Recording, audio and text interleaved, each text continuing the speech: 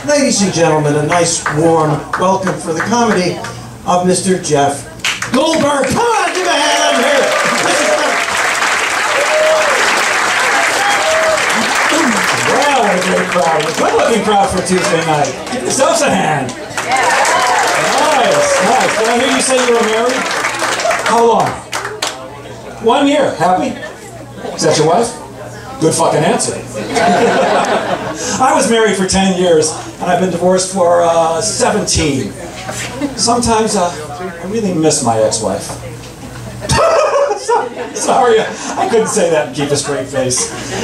Uh, when we decided we were going to have kids, I told my wife the only thing I care about is that they turn out to be happy and healthy.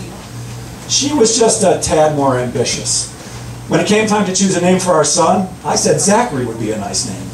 She said, what's the difference? The only name that goes with Goldberg is Doctor. we had one kid and then we had twins, and after the twins I decided to get a vasectomy. For those of you who haven't had the pleasure, what happens is they numb you. Down there, down there. And then the nurse holds your testicles while the doctor cuts and snips. Just my luck. A gorgeous blonde nurse is holding my balls and I can't feel a damn thing. People get divorced for a lot of reasons. I got tired of her telling me where to go and what to do and where to turn when I'm driving. I mean, I'm an adult. I don't need anybody to tell me where to turn when I'm driving. Of course, here was me two hours ago. Hey Siri, how do I get to the brokerage in Bellmore?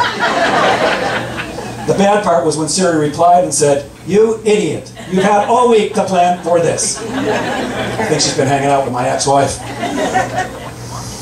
Uh, I got the vasectomy because I thought it would spice up our marriage. I thought it would be nice to have sex without worrying about having more kids.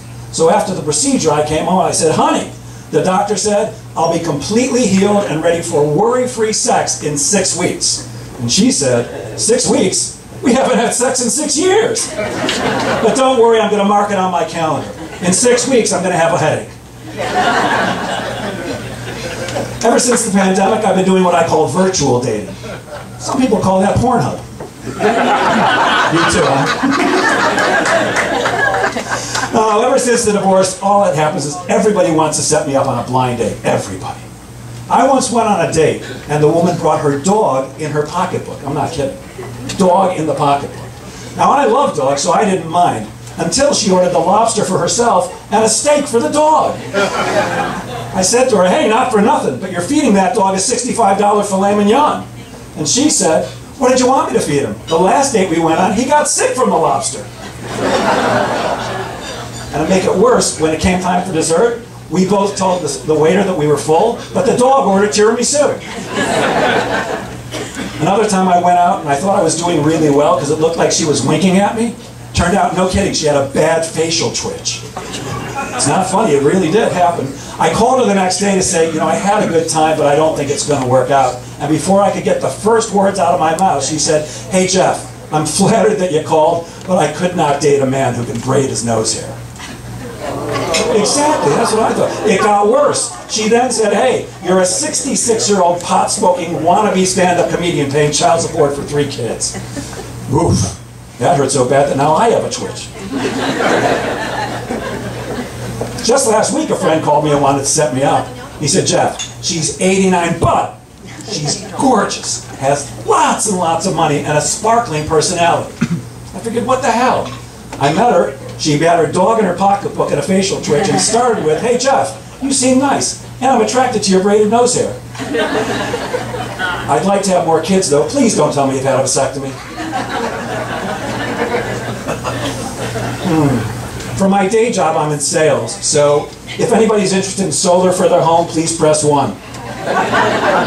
If you'd like to save money on your credit card rate, press 2. And I'll be at the bar later in case anybody's interested in a subscription to Newsday. I was at the bar earlier talking to a woman. I thought I was doing well. I'm, I'm not good at reading signals. Can you tell me, what's it mean when a woman says, hey Jeff, what's a girl got to do to get on your do not call list? you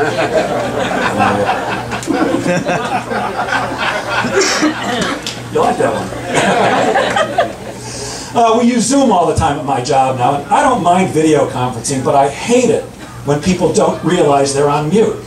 I was in a meeting just this morning, and the facilitator had to keep telling people, you're on mute, you're on mute. After like the 16th time, I lost it, and I started ranting, come on, people! We've been doing this for over two and a half years now. It's about time you figure out where the damn mute switch is. I probably would have gone for another 10 minutes, but somebody texted me and said, hey, Jeff, you're on mute. Yeah. You smelled that one coming, right? Oh, what else can I tell you? Oh, I hate that I have post-nasal drip. Hate it. How strange, right? A Jewish comedian whining about his health. it causes me to cough all the time, and I finally decided I was going to do something about it, so I went to see a specialist. And he said, Jeff, I've got good news and bad news. The good news is, I can clear it up like that. All you gotta do is take Mucinex.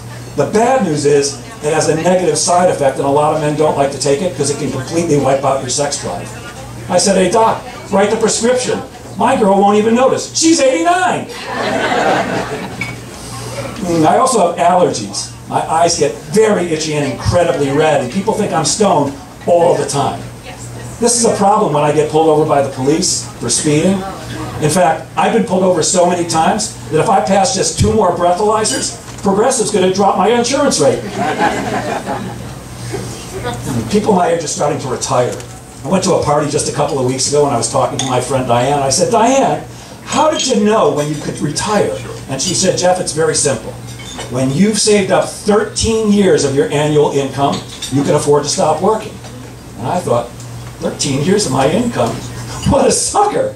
Unless she finds out I've had a vasectomy, I'm dating my retirement plan. and the good news is, she's got a really bad cold. Uh, that was a delay, but hey, you guys have been great. My name is Jeff Goldberg. Thank you so much.